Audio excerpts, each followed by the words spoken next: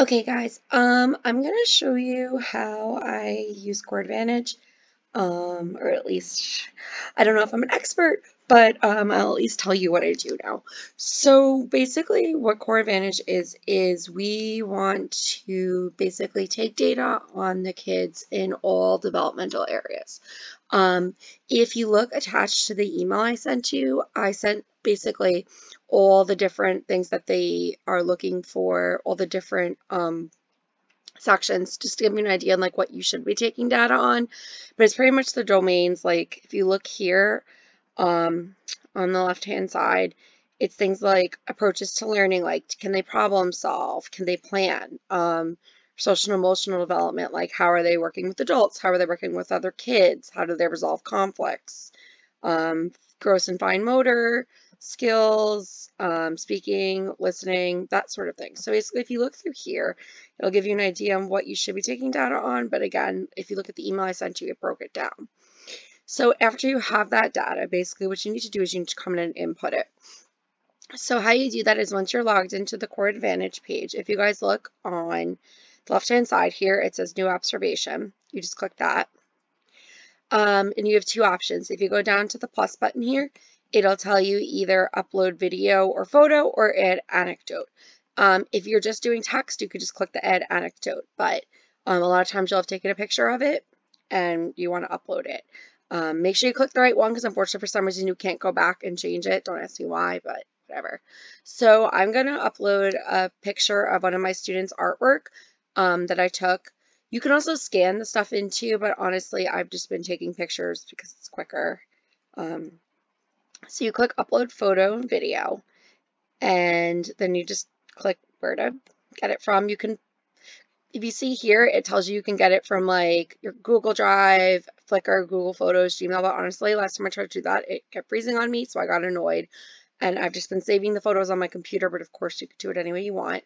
Um, so I'm going to upload a new photo. So I'm going to upload my student Phoenix's artwork. So then you just upload it. Okay, so now obviously I need to add something to this. So I'm going to click on it.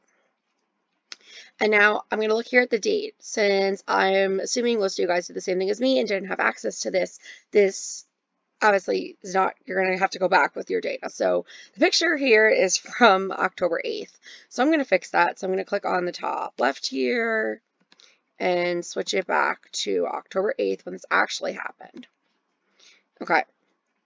Now, this caption basically, just we're going to just add a title what it is. Um, basically, I had my students look around with pretend binoculars we made, and we were using our sense of sight. So here we're just going to basically describe what we took the notes on and what we saw. So for my title, I'm just going to put um, sight drawing. And now I'm going to describe exactly what happened. So the students were asked to draw a picture of what they saw using their sense of sight. We went out on the playground.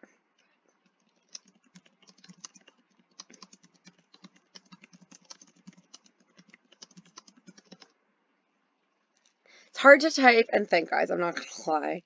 Um,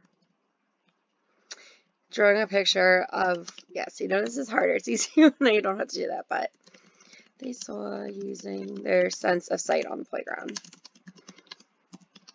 Okay, so that was like the just describing the situation. Now, what exactly happened? My student Phoenix drew a picture. Um, I'm going to say with some detail because if you'll see when we get to the ratings, it's going to ask about different types of detail. Um, obviously, I have like a, I can kind of tell what this is. He's supposed to, he supposedly drew a swing. Um, but it's not that detailed, but it's not just scribbles. So that's what I'm going to write. Phoenix drew a picture of the playground using some detail, such as we could see here, like he included the handles for the swing and the swing itself. Then I'm not quite sure what that's supposed to be. He included some grass. So we're just going to write that. Um, if you see, he told me on the bottom what he wrote, but we want to look more on the work he actually did versus him telling you what he wrote. Such as the swing. And the, I don't know, what do you call those things, handles on the swing? And the monkey bars. Oh, those are monkey bars. Okay. So, help if I could actually type. So, um, we could also note here, um, my goal usually is to try to get as many things from each thing as you can. So for here, he did drawing, but he also wrote his name. So we could write, he wrote his name using correct letter formation because now we can get data for both the drawing and the writing. So we could get rid of two things at once. So then once you have that, you can save it. Um, then you obviously go to the studentship to click who you want. So this was Phoenix. I click save. Now here's where you guys have to actually rate everything. So the point of Cor Advantage again is to take data on each developmental domain and figure out where the child is. So if you click here tags, now this here down here it says my tags, you guys can ignore this. This was back from when I had a building box coach. You guys don't even need to worry about that. What you need to worry about is Cor Advantage because this is what the DOE is looking at. So you're going to click that. Now we need to look at where we're actually going to rate. So here, this was creative arts, right? That was the first thing we looked. So we're going to click at creative arts, now art itself. So we click this drop down menu. And if you look here, it'll give you a description of what you're looking at. You guys can read that on your own time. But looking at the ratings, okay. So basically we want to find something that accurately described what Phoenix did. Um, they told me when I went to, because I went to a training on this, that if a student's in between levels, rate the one below because they haven't quite mastered it. So you drop one below. But here I'd say, well, if you're looking at like level three, it says an unintended result, what it looks like. This isn't unintended. This is clearly a swing. Number four, simpler representation with a few details. I'd say that seems pretty accurate because looking at level five, complex representation, like this is obviously a swing, but it's not very detailed. So I'm going to go with level four and then just click save. Now again, I noticed that, like I said, we can put it as not just art. He wrote his name here too, so we can click two things. So we're going to grab something else as well. I realized you could click them all at the same time. I don't know why I did that, but whatever. Um, it doesn't matter. So then we're going to go to, think it's, yeah, language literacy and communication to get the writing. So again, we click the drop down menu. And again, it'll explain more detail here if you want to read that. So what exactly did Phoenix do? Well, let's look at the ratings. Like here it says just writes discrete letter-like forms. No, these are very clear, so that's not going to be good. Number four says writes five or more recognizable letters or numerals. That he certainly did. The level above it combines something other than their name. So obviously that's not it because he wrote his name. So we're going to go with level four again. Um, so then that gives me two different points in both art and writing. Some things you guys will find, like especially if your kids like playing in centers, you can get a lot of different, you know, areas covered with just one data point. Like say you see them playing a dress up center and they're they're communicating back and forth with their friends and they're problem solving. You could get more than one tag, but for this one, I just have two. So what I'm going to do is I'm going to click save to moments, do not send. Why? Well, the, weirdly enough, Cor Advantage has a new component which they used to not have that makes it more like a social media app, almost like Class Dojo, but we don't need to do that because we're already doing Class Dojo. So if you use these, it would send it to the families if you put in their email address, but we're not worried about that right now. So you're just going to click Save to Moments, which will publish your thing. Now, if you guys want to go back and look at what you've done so far, now unfortunately I've only uploaded three things, but you can look at where it says assessments and it'll show you whatever you've inputted. So right now we just inputted Phoenix thing. So if you look down, if I scrolled over to Phoenix, you'd see I didn't put anything else in yet, but if I scroll down, you'll see writing here, it says four. So this is the average. Basically, the idea is you want to put in more than one data thing per child, obviously. So it just gives you an average of, say, I put like three different things in that Phoenix had written. This will be the average.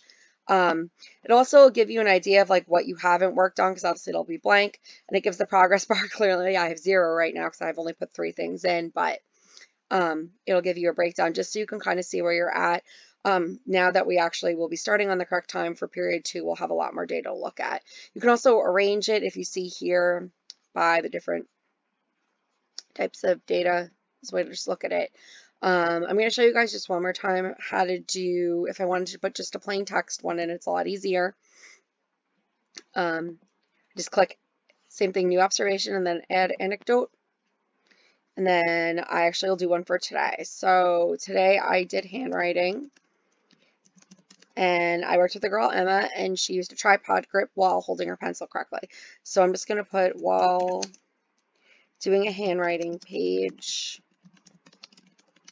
Emma correctly used a tripod grip on her pencil. So that's quick. Obviously, I'm only going to be able to write one thing on this, but it's a good point in data because I can tell that she's holding things correctly and she has good fine motor skills. So I'm just going to type that, click save. Okay, so now again, this student, I checked the date. It was today's date, so that's fine because it happened today. But I said a lot of our stuff's obviously going to be backdated. Um, click Emma, then save. And now my tags, again, we're only clicking from Cor Advantage. Don't worry about this stuff. If you guys have it, you probably don't even because that was mine from the past. If I click Cor Advantage, these are the Cor Advantage points. It was language, literacy, and communication go down the drop down menu, writing. And if you guys, oh, nope, hold on, I'm in the wrong one. That's for writing itself. We want to do the fine motor skill aspect of it. That's my fault, sorry.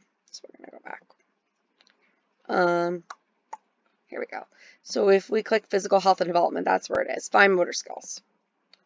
Um, if you scroll down, I just told you guys she used a tripod. You'll see that's actually level 5. That's why I took the data because I just knew that. Click save. And again, we're going to click save to moments because we don't really need to worry about sending it because that's not what we're using this for. Now, what is moments? It actually, if you guys want to see what you've done so far, this weirdly, again, this program changed a little bit. If you click moments, it'll show you the last few annotations that you put in. Now, it actually shows you all of them. So if you guys want to see some other examples of data I've put in the past, it actually has some of my stuff from before lockdown, the last time I used this. So if you want to see another example of an anecdote, here's one I took of one of my students in April 7th. Um, this must have been taken before uh, March 2nd, so it was before lockdown. But um, I'd taken a picture of a child who had made a pattern. As you could see here, I rated it on a pattern. So just to give you an idea of what some other things can look like that are not just writing, because um, these are very old ones. I had a student who was able to cut on a straight line here for fine motor skills. Um, so these are very dated, but it'll just at least give you an idea of what it looks like. Let's see here, tricycle, the students were able to pedal. That was a gross motor skill one. And if you could see here, guys, I actually meant to point this out, you can rate it for more than one child. So in this case here, it was these students. I had one, two, three boys that were pedaling at a time. You can select more than one child to rate it at. At this case, I had three. So when you click students, you would just click three kids instead of one, and it would save it for all three of them. Uh, so you like one or two more, just again give you an idea of what the annotations can look like. Um, and then again, it's not always photos like here we had made a prediction graph. Um, and this student, Orion, made a prediction and explained it. So I put in an experiment. So it could be a little bit more detailed. So yeah, that's about it. There are other things here. Um, you guys don't have to worry about it because again, a lot of this stuff, like I said, is almost set up like a social media app, which you don't need to worry about, just the data. So honestly, you can pretty much ignore all this stuff here for now because you're not going to need to worry about it, like the storyboards, lesson planning, all that stuff. You guys can just ignore that for now. Um, so yeah, uh, that's about it. It's pretty straightforward. Um, if you guys have any questions, I guess just email me. Thanks.